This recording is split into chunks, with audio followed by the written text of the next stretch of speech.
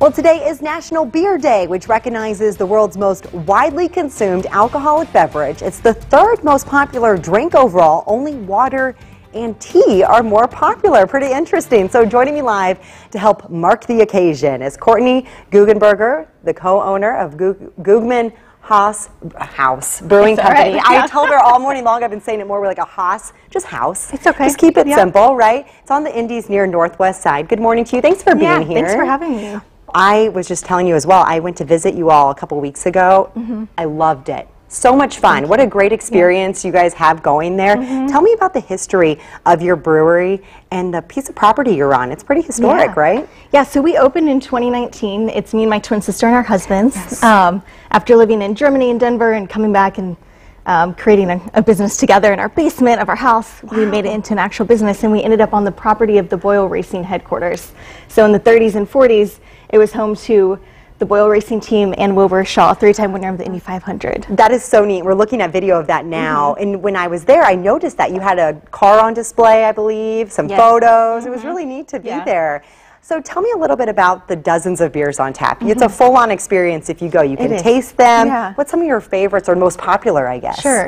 Yeah, I like to say we have something for everybody. We try to kind of go a, a wide, provide a wide variety. So like the Riverside, we're in the Riverside neighborhood, and that is one of our best sellers. It's a New England IPA. Okay. Um, we have our Hefeweizen, which is a traditional German yes. um, beer. Uh-huh. And then we do a wide assortment of experimental IPAs. Um, sours are really popular. Okay. Milkshake IPAs. So wonderful. Really whatever your heart desires, we have. Which is great because for someone like me who I'm just kind of getting into trying a little different, you know, mm-hmm. I like to be able to try all the different ones you have. So let's try a few that sure. you brought here. Okay. What are your favorites? So my favorites, so the Pilsner, this is actually my husband's favorite. Is he it? brews our beer. So he comes home and has a Pilsner.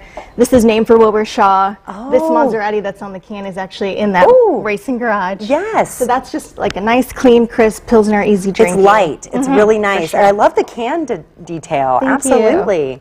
So this is our Hefeweizen, the traditional okay. German wheat beer. This is what made us fall in love with beer when we lived over in Germany. How long did you live in Germany? Just for about a year with oh. my husband's oh. job, and then this uh, one. We oh, fell in love. Yeah, I love that. Like that okay, one? yes, I'm taking um, little sips here because yeah, you have a full-on lineup. We so do. I had to bring them all. so this is the Riverside, which what I mentioned earlier. It's one of our most popular. I could see um, that being a very popular one. Yeah, there's yeah. a lot of no notes of grapefruit in it. It's made with like eight different hops, so okay. it pulls out the juicy, fruity flavors. As you pour the next one, where did you get the ideas of all these different beers? So the different flavors, the, um, what comes from them? Oh, just a lot of, the, four of these were original ones that we had homebrewed and okay. we worked on throughout the years. And then otherwise, it's experimenting with different hops and malts. Um, the one we're tasting now was made with other women in the industry Ooh. come together for the Pink Boots Pink Boots Brew Day, and so this is Pink Solidarity. So that was one that. kind of our one-off specials that we have right we now. We love a good message behind a good yeah, beer, right? Sure.